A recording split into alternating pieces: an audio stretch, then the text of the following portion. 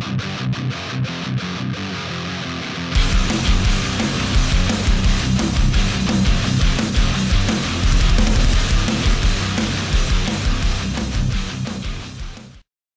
guys, it's Joe here from Ru-Fi-Oh. Welcome to the channel. If this is your first time here, welcome aboard. You should definitely hit subscribe and the notification bell before you realise how fucking garbage this content is. And if this is not your first time on the channel, you may want to seek some professional help. But in all seriousness, thank you very much for coming along. I do really appreciate you being here. For today's deck profile, we're going to be covering the Tri Brigade list that I've been playing for the last few weeks at locals. Well, I say last few weeks, it's probably slightly less than that, but you get the picture.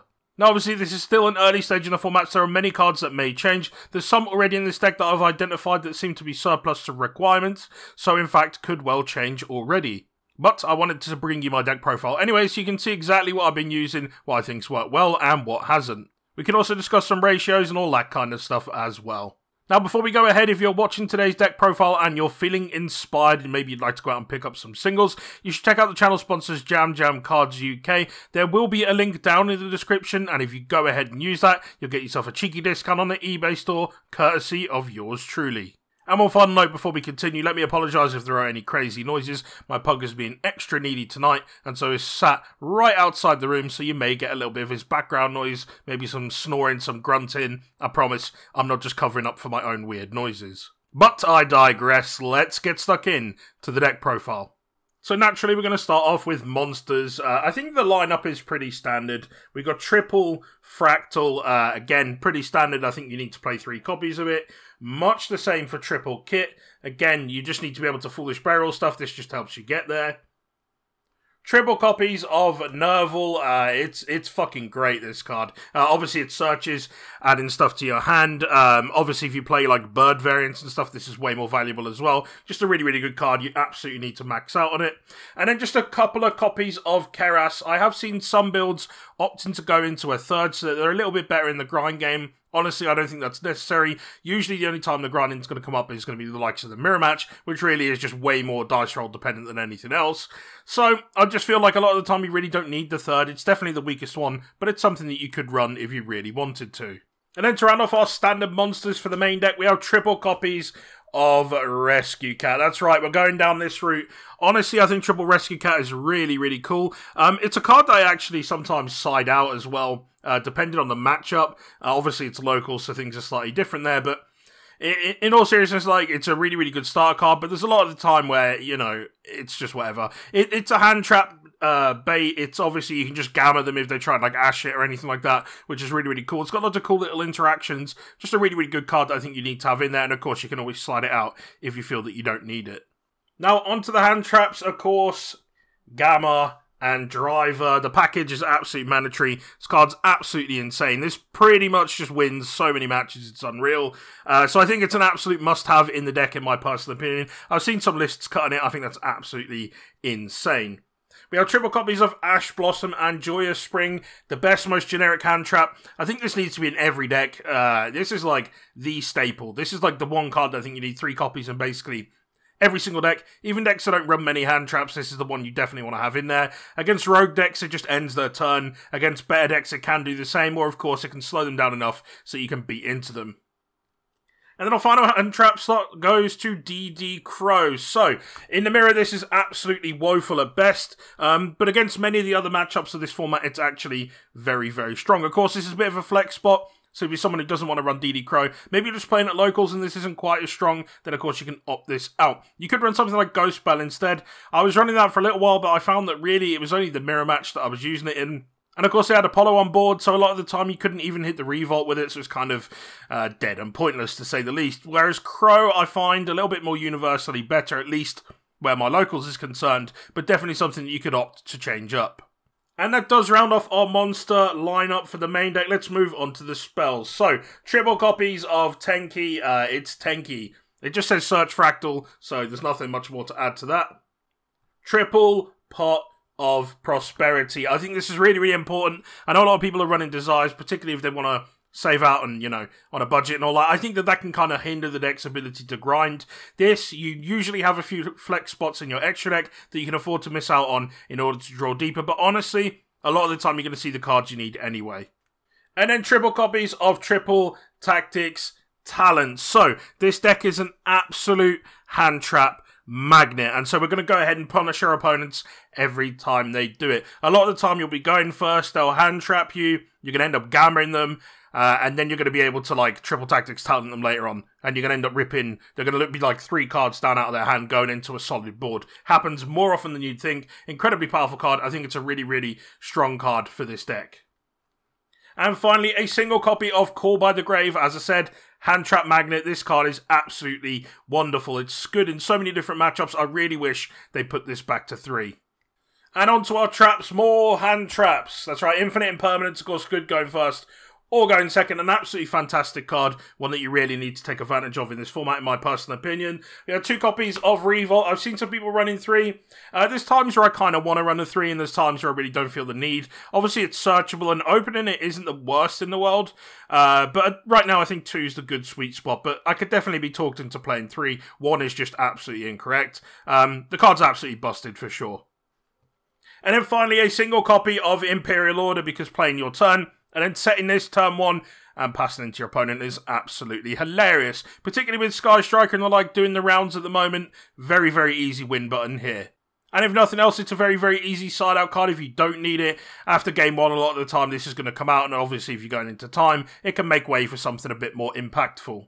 Now, onto the extra deck, this is where things start to get chopped up a little bit, where I'm talking about cards that, you know, we could swap out, or maybe ratios that would change, so we'll get to that in a moment.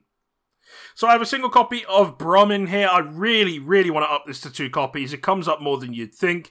Um, yeah, just a really strong card. I really would like to pop this up. Of course, it's mainly there that we're going to use it for the revolt effect, but as and when the likes of Bird Up and stuff really start to take off in the early next year, you're going to need it to be able to revive your Nervall and go off about your plays. It can do some stuff like that, but it doesn't come up as often in this particular build. I would, however, really like to up this to two. We have double copies of Ferrijit, or Ferret as I prefer. Um, two copies seems fine. There's occasions where the third comes up, but I can't really justify because most of the time it just doesn't happen. Uh, but again, the card's really strong, and I think two copies is about the sweet spot. We have a single copy of Rugal, the Silver Sheller. One is more than enough. You really only use it for that opening combo. There is also the benefit, of course, being able to bring stuff back whilst you've uh, whilst you've got your uh, Shuraig on board, and obviously being able to banish cards off your opponent's side of the field. So there is some benefits there, but it's just generally there for the combo lines of play.